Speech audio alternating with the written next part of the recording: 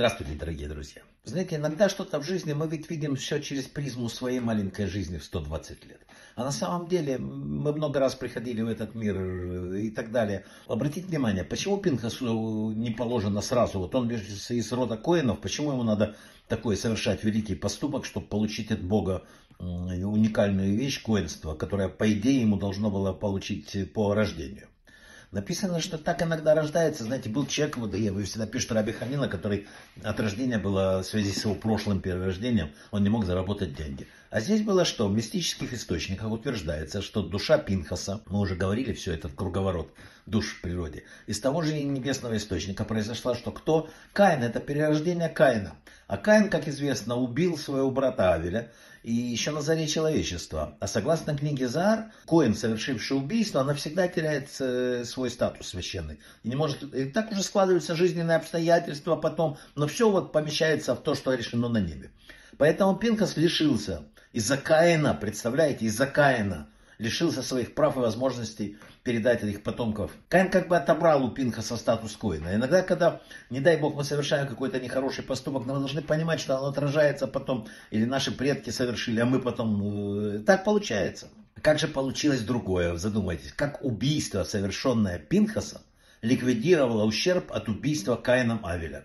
Как это может быть? Нам объясняют мудрецы здесь. Имя Каин образовано от того же корня, что и слово киньян. А киньян это что на иврите? Приобретение.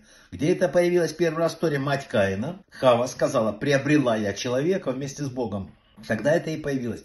В еврейской традиции вообще приобретение это как существование. Написано, Бог приобрел небо и землю. То есть обрела небо и земля, и небо обрели существование. И вот это приобретение означает действие, которым созданы были небо и земля. Понимаете, здесь не так просто, но попробуйте. В глазах Каина он был как бы единственным приобретением. Вот он единственный. Когда появился брат, это уже как-то ущемило его немножко. И в этом корень каждого зла.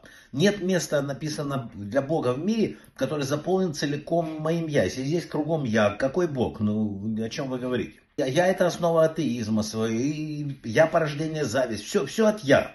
И от я самое эффективное средство избавиться от зависти, уничтожить объект и, и все. И этим источником, еще раз, вот отсюда есть и зло, и добро. Кстати, именно поэтому написано, что э, чувство собственной значимости имеет позитивную еще сторону.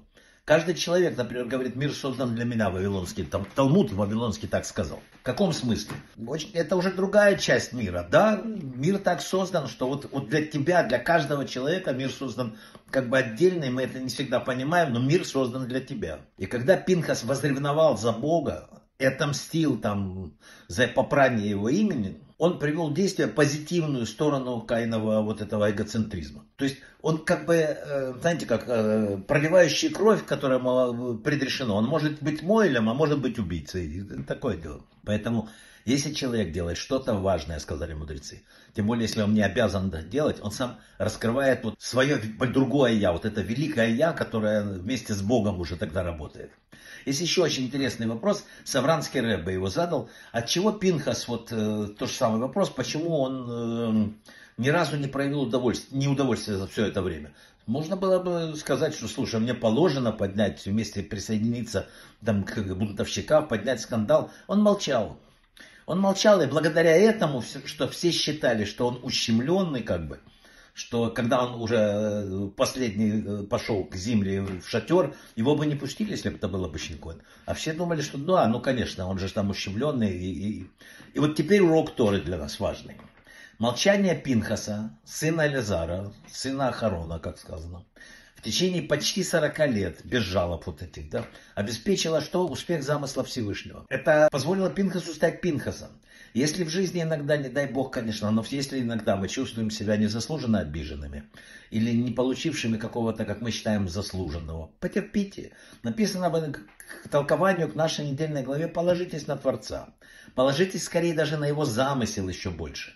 Любой недостаток имеет в виду заполнение, а иначе он недостатком не является. Поэтому Бог лучше знает, все будет хорошо. Брахава и отслаха.